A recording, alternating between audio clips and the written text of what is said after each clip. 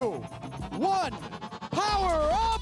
And here we go in our finals match. Number one, Cheesy Poofs on their way over. They spin right around to the right side of the Funky Monkeys are the first one to score on that scale with Red Alliance. Cheesy Poofs grab one and two. Funky Monkeys grab a second one. They're up on the scale for the Blue Alliance. It's two on the Blue Alliance, one on the red. For that scale, it balances out to the Red Alliance. First, both alliances also grab their switches. 973 Greybots. They got three on that Red Alliance side switch. It looks like 971 trying to get one more on the blue side of that scale. And it looks like 254. They're butting heads over there with CardinalBotics on the blue side. 971. They got a third power cube on there. It's bouncing out to the Blue Alliance side. Blue Alliance, Spartan Robotics has grabbed on to the scale for blue. It's balancing out to that blue side. Themselves and the Funky Monkeys now going for one more. Spartan Robotics goes a little bit wide. Funky Monkeys scores, though. They grab that one on the scale for the Blue Alliance. And there goes Red Alliance playing the forcing power up.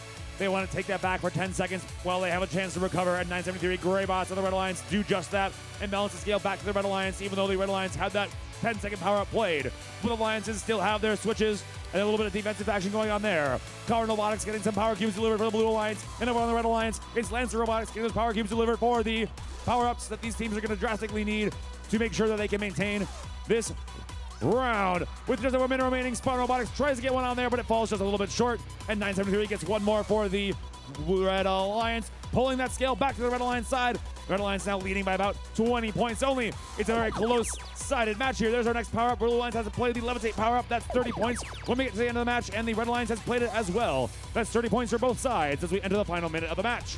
Red Alliance now leading by about 50 points as they have taken back the scale. And the Red Alliance plays the boost power up to double up their scoring on their switch only. That's about a 10 point bonus for the Red Alliance as we get close to the final 30 seconds now. Two before the Cheesy Poofs are lining up on that switch scale. On the scale, they're hooked down and ready to climb, looking like they want to lift their alliance partners as well. 971 Spartan Robotics trying to hook down themselves with under 30 seconds remaining now. Red Alliance is in the lead. 846. The Funky Monkeys trying to grab on and get one more scoring opportunity. And 971's going to lift their alliance partner as well.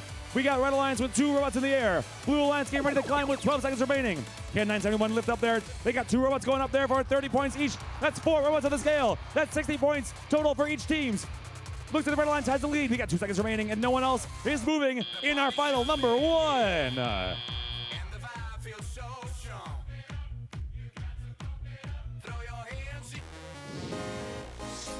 We do have those scores, and it will be the Red Alliance who wins the first final round.